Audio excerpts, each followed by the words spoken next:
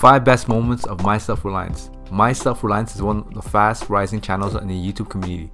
This channel shares viable tips on how to survive in any condition, has turned out to be one of the leading channels in that niche. Although the niche or subject may not be as attractive as say entertainment or lifestyle niches, My Self-Reliance has been able to carve a new phase out of this otherwise boring part of YouTube.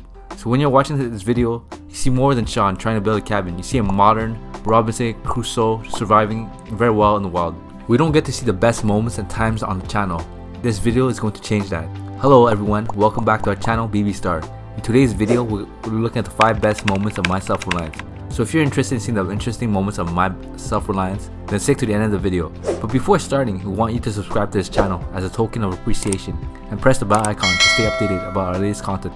Also, don't forget to check out the link in the description below to get a free audiobook online in seconds you will get my number one recommendation on how to get a free audiobook. Not just any kind, but one of the best top-notch audiobooks. Now, without further ado, let's start the video. Number 5. Moving to the wilderness. While you may not see this as one of the best moments of my self-reliance, it actually is. Shawn James, the facilitator and content creator of the channel, expresses his delight in the outdoors. He says that it has always been his dream to live and thrive amongst nature. He notes that moving to the wilderness in Canada is one of the best decisions he has ever made, and this is arguably one of the best moments for the channel. Number 4. Building and completing the log cabin.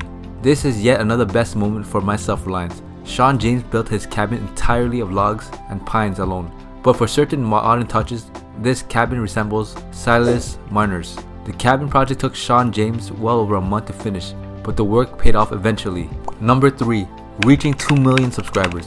My self-reliance is in a niche that is not renowned. People prefer to watch videos on hip hop and hot celebrity gist. However, this channel has been able to attain a very eye-popping feat, 2 million subscribers. I bet the day his, this milestone was achieved, Shawn James, his team, and his dog took a break from the wilderness. Wildlife is hard, and seeing your sacrifice paying off is a thing of pure joy. Number 2. Increase net worth.